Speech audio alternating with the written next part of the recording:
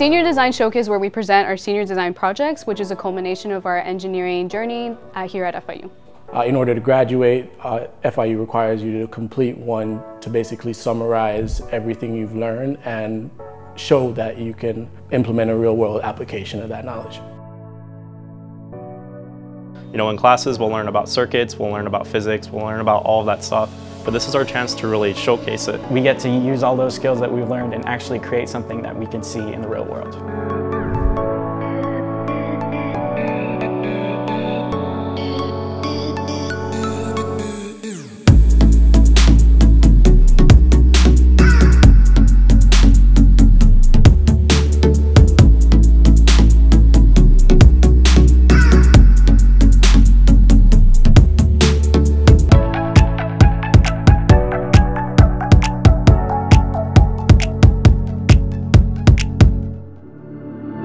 Our project is the development of a miniature robotic inspection tool to go into small spaces that a human couldn't go into.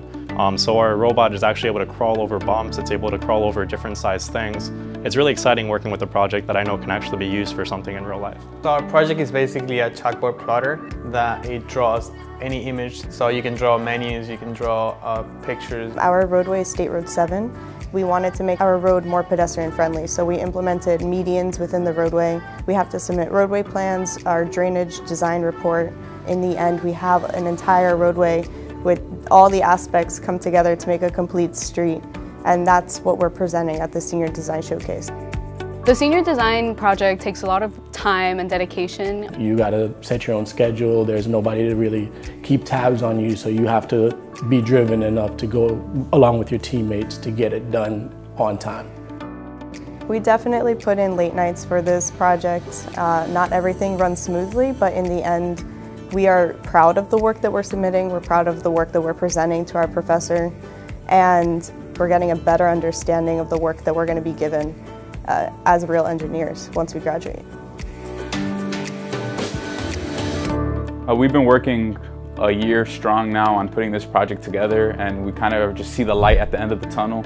So we're all just very eager and excited to be able to present and just be able to show all the evaluators and different judges, you know, how successful all of our skills and uh, knowledge base have, have come together.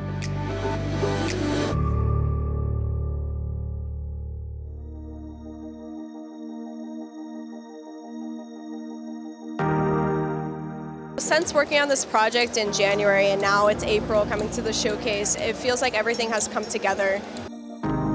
Seeing something that we created actually come to life and actually be able to do something like that is something else. It was really fun to be able to do that.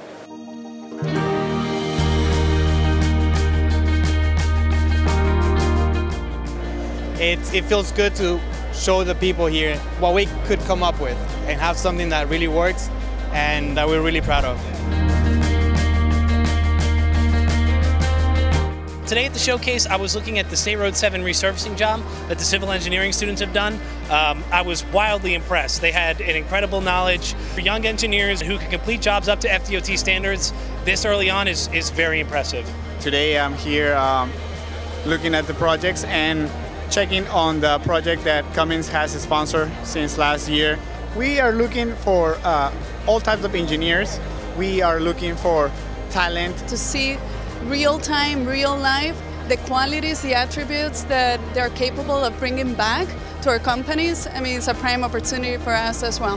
The value is really real in this sense. Um, it's not a conceptual project to the point that we would never do this again in our lives. We're going to be using this in the real world. We're going to be using this at our jobs, at our companies. Also, having the exposure right now as an undergraduate student, that's a value that you can't really compete with.